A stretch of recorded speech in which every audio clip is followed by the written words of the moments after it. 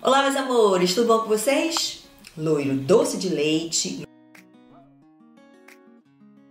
luzes peroladas de louro dourado.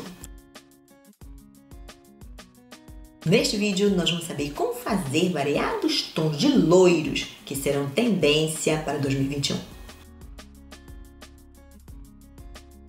E só para não perder o costume, já peça seu like, se inscreva nesse botão vermelhinho aí para fortalecer o nosso canal e a nossa amizade.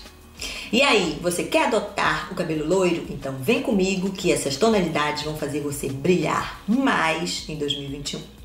E essa playlist Descubra a Coloração, eu vou deixar ela completinha no final do vídeo para você. Quem sabe você pode fazer um tour e descobrir muito mais cores.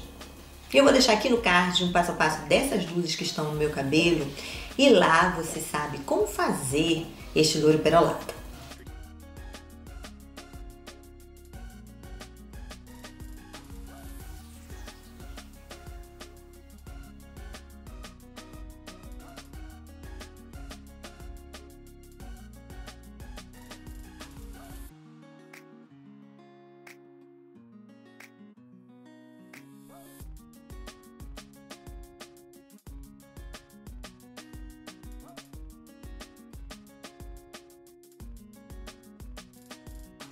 Começar pelo loiro doce de leite, feito em uma coloração com tinta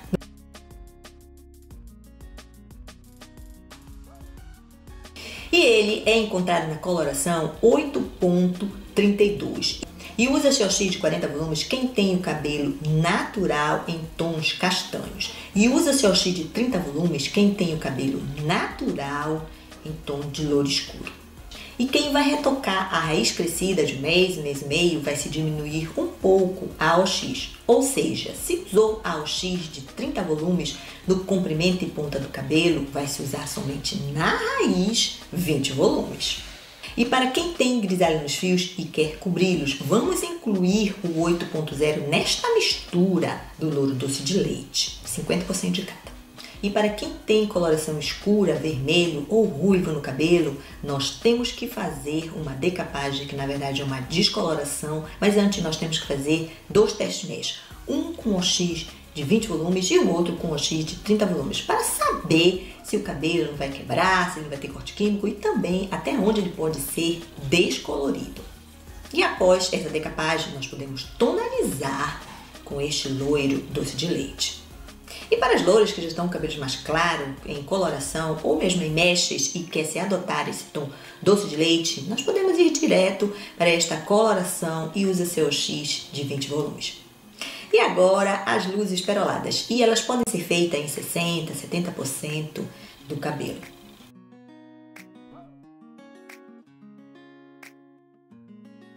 E para quem está com cabelo escuro, com tinta ou natural, vai-se direto para essas luzes peroladas. E essas luzes vão ser descoloridas com um X de 30 volumes e o seu fundo de clareamento é 9 ou 10. E a tonalização é com 10.12 e OX de 10 volumes. E a raiz pode ser opcionalmente esfumada e pode-se usar o 7.1 ou o 8.1 com OX de 10 volumes para esfumar a raiz. E aqui no card eu vou deixar um vídeo com passo a passo de como fazer raiz esfumada. E para quem tem os grisalhos nos fios e também quer esfumar a raiz, nós vamos incluir nesta mistura da raiz esfumada o 7.0 ou o 8.0, 50% de cada. E para quem tem coloração vermelho ou ruivo no cabelo, nós temos que fazer antes uma decapagem, que na verdade é uma descoloração, e em seguida vai se tonalizar com o 7.1 ou o 8.1 com o X de 10 volumes, já que o fundo dessas mechas peroladas ele está escuro. E esta primeira etapa e a segunda etapa vão ser feitas as luzes peroladas no cabelo. Mas atenção, entre a primeira e a segunda etapa, dê um tempo de no mínimo dois meses entre elas para que o cabelo possa se recuperar neste meio tempo. E para quem loura, que está um cabelo descolorido, com luzes e quer se adotar este tom perolado, nós temos que fazer antes uma shampoozada e em seguida nós vamos tonalizar com este perolado. Eu vou deixar aqui no card um vídeo com passo a passo de shampoozada. E agora o louro dourado feito em mechas que podem ser adotadas em 70 a 80% dos cabelos. Então vai ficar bem loiro esse cabelo.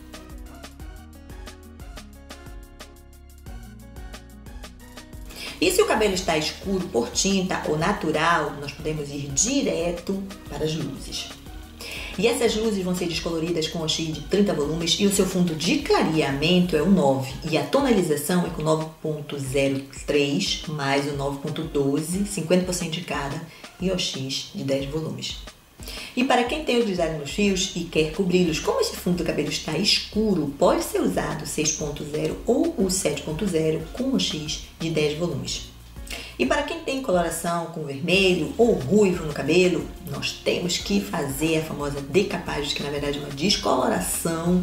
Mas antes nós temos que fazer dois testes de mecha, um com um papelote com o X de 20 volumes e o outro com um papelote com X de 30 volumes, para saber né, se esse cabelo não vai quebrar, se vai ter corte químico e também até onde ele pode ser descolorido. E após essa decapagem, nós vamos tonalizar com o 7.1 ou o 8.1 com o X de 10 volumes. Como esse fundo do cabelo está escuro, nós temos que usar essa tonalização. E essa é a primeira etapa. Vamos para a segunda etapa, que é fazer essas luzes douradas. E eu digo fazer essa segunda etapa depois de dois meses que você fez a primeira etapa, para que o cabelo se recupere nesse meio tempo. E agora, quem já está com o cabelo com mechas, descolorido, então você quer adotar este loiro dourado frio, nós temos que fazer antes uma usada para fazer essa limpeza de cor e em seguida você tonaliza com este tom do loiro dourado. Meus amores, me sigam no Instagram, Alessandra Velari, que lá eu também dou muitas dicas de cabelo e eu tô sempre por lá. Um beijo, fique com Deus e até o próximo vídeo.